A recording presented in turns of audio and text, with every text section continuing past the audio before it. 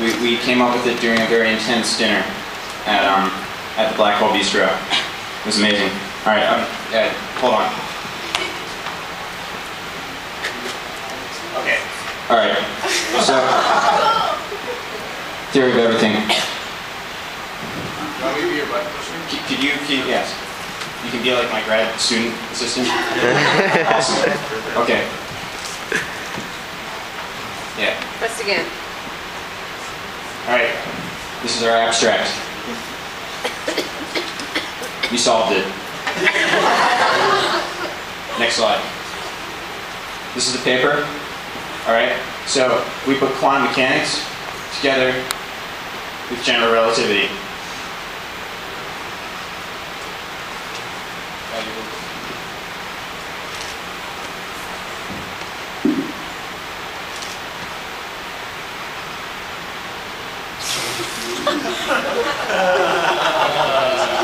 Yeah. Quantitative. Yeah. Yeah. So. All right. Now, the quantitativity function. This, this is the core of the theory of quantitativity. You're, you're, you might want to look away for this part. I don't know if you're still in the audience.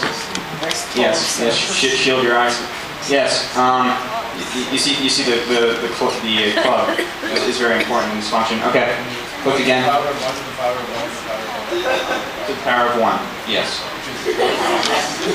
Well, yes. Yes. If, if, if you want to normalize it, sure. Okay.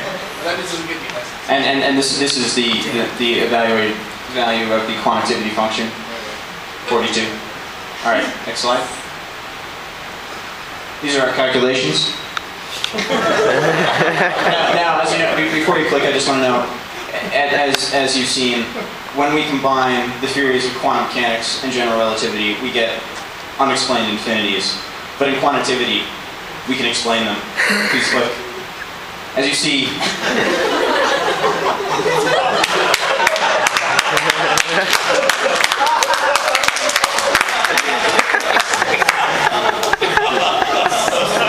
using this very simple quantitativity relation.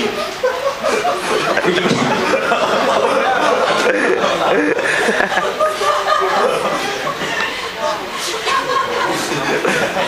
we can get a real number from, from these infinities, uh, a very nice integer. Moving on. Yes, okay. So, so now we have something.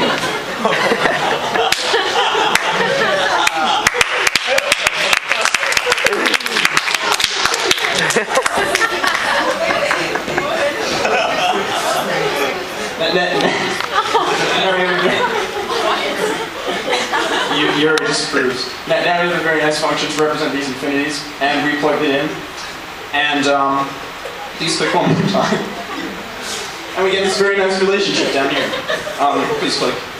Notice that we need to use seven, 17.5 dimensions, space-time dimensions for these functions to work. Next, next slide, please.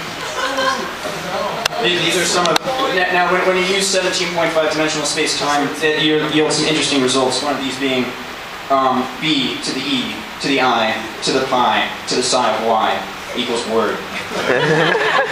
Yo. Next, please.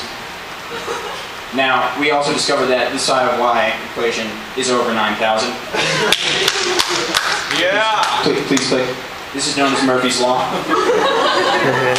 yes. Okay. It, you know, they make any presentation better. These are, this is the greatness level. That's our theory. This is all the other theories. And uh, this is dark matter. we, we don't really know, you know, what, what's, what's it really is, what's supposed to go there. We're just using dark matter right now. Ne- next slide, please. Okay, so now you can see the relationship of the number of dimensions in our theories. Quantum quantitativity uses about 17.5 space-time dimensions. String theory is, is something like 50, I, I don't even know. Special quantitativity is negative 2. This, this part of the theory is still, still a work in progress, but, but it should yield fascinating insights into our world. Next slide, please. Okay, so, so at, at the end of the day, this is just freaking. this is the end. It's profoundly bizarre, but ultimately, all this is way, way cool. Thank you. Thank you.